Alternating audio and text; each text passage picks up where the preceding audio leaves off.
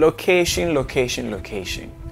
Hi, welcome to the third episode of The Photographer's Take. Today we're talking about location. Uh, location for what exactly?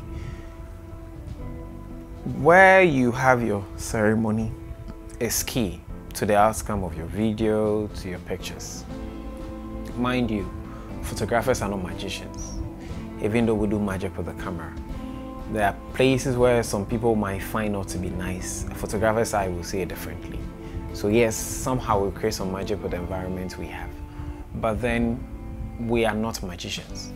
So when you choose to have a wedding or a traditional marriage, if it's within your power, find a location that looks pleasant.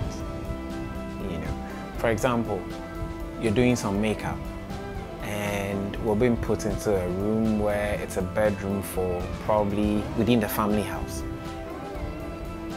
And unfortunately, by the time you get there as a photographer, you realize that the, the direction of the room doesn't help. Sometimes you have, you know, dresses and bags and things like that packed behind a bride. You know, this is not the time they're going to tell them to pack the things out, but this is to future clients or anybody getting married. That when you, when you choose to, you know, get married, think about your location. Church, well, you can't do anything about the church if you're getting married in church, but then reception area is key. Um, traditional marriage location is key. If there's a family member who has a very nice house that you think can be used, why not? But then if you have no option than to use what is available, well, photographers will do their best. But mind you, and get to know that if you have the chance to pick a location, that would help the process, especially during makeup. Because with those ones, you have the option of picking the room of your choice. If you pick a room which is even still within the family house, try and make sure that you set the place up nicely. Um, things that are not supposed to be in the room are removed so that at least the background will be pleasant.